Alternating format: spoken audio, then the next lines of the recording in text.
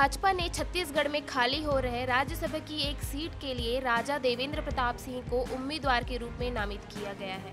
इस निर्णय के बाद न्यूज़ एजेंसी एएनआई से हुई बातचीत में राजा देवेंद्र प्रताप ने कहा कि इस फैसले ने मुझे आश्चर्य में डाल दिया है। राजा देवेंद्र प्रताप सिंह ने अपने नामांकन पर आभार व्यक्त करते हुए कहा कि वह प्रधानमंत्री नरेंद्र मोदी के नेतृत्व में काम करने के अवसर के लिए सौभाग्यशाली हैं। उन्होंने कहा, मेरा नाम एक आश्चर्य के रूप में आया। मुझे अब भी विश्वास नहीं हो रहा है कि मुझे राज्यसभा के लिए नामांकित किया गया है। मैं मुझे उच्च सदन में भेजने के लिए पार्टी के वरिष्ठ नेतृत्व को धन्यवाद देना चाहता हूँ। राजा देवेंद्र प्रताप सिंह ने आगे कहा, सौभाग्य है कि मुझे पीएम मोदी के नेतृत्व में काम करने का अवसर मिलेगा। राज्यसभा सदस्य के रूप में मैं रायगढ़ के विकास के लिए प्रयास करूँगा।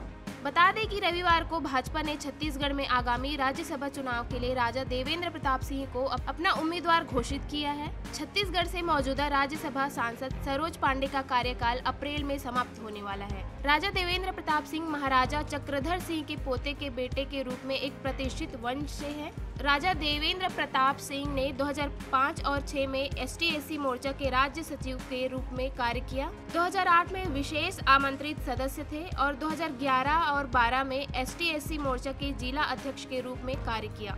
वह भाजपा के एस टी मोर्चा के राष्ट्रीय कार्यकारिणी सदस्य के पद पर भी रहे। चुनाव आयोग ने छत्तीसगढ़ सहित 15 राज्यों के लिए राज्यसभा चुनाव 27 फरवरी को निर्धारित किया है।